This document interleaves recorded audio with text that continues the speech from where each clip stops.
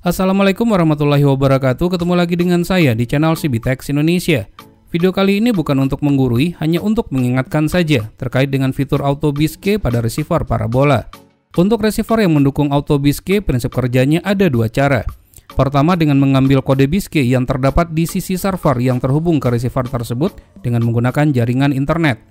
Kedua dengan mengenerate atau membrut key-nya secara mandiri.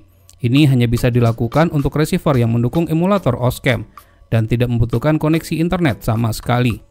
Pada video ini kita akan membandingkan fitur auto bisky yang terdapat pada receiver GT Media V9 Prime dengan HelloBox 6 Combo, masing-masingnya untuk mewakili brand GT Media dan HelloBox. Perlu diketahui kedua receiver ini tidak mendukung emulator OSCAM. Baik, percobaan pertama kita mencobakan dengan menggunakan receiver GT Media V9 Prime dengan terkoneksi ke jaringan internet. Kita akan mencobakannya pada channel berikut ini. Nah, terlihat dengan terhubung ke jaringan internet, kode bis yang dicari dapat ditemukan pada sisi server.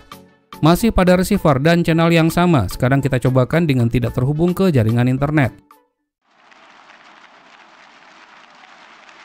Setelah kita tunggu, channelnya masih tetap gelap. Ini dikarenakan proses untuk mendownload kode BISKI pada server tidak dapat dilakukan dikarenakan tidak adanya koneksi internet.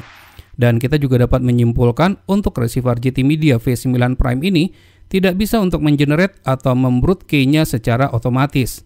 Kedua dengan menggunakan receiver HelloBox 6 combo pada channel yang sama dengan kondisi yang sama, yaitu terhubung ke jaringan internet. Setelah ditunggu beberapa saat, kode BISKI yang dicari dapat ditemukan. Hal ini dikarenakan kode BISKI tersebut tersedia di server HelloBox ini, jadi kita tidak perlu untuk menginputkannya secara manual.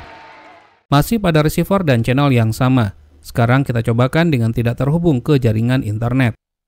Ternyata kode BISKIT tidak dapat ditemukan. Ini dikarenakan proses untuk mendownload kode BISKIT pada server tidak dapat dilakukan. Jadi kesimpulannya, untuk fitur AutoBIS pada setiap receiver, yaitu receiver yang tidak mendukung emulator OSCAM, prinsip kerjanya adalah sama saja, di mana receiver tersebut tidak dapat untuk mengenerate atau membrut key-nya secara otomatis. Kode BISKIT yang didapatkan adalah dari server masing-masing receiver tersebut yang terhubung dengan menggunakan koneksi jaringan internet. Tentu saja setiap receiver memiliki kelebihan dan kekurangan. Jadi bijaklah dalam membeli, belilah sesuai dengan budget dan kebutuhan. Baik, semoga saja video ini bermanfaat. Jika suka silahkan tekan tombol like, jika tidak silahkan berikan komentar yang membangun. Jangan lupa untuk terus mensupport channel ini. Cukup dengan cara subscribe, share ke teman-temannya, dan tekan lonceng agar selalu mendapatkan notifikasi video terbaru. Terima kasih, sampai ketemu lagi di video berikutnya.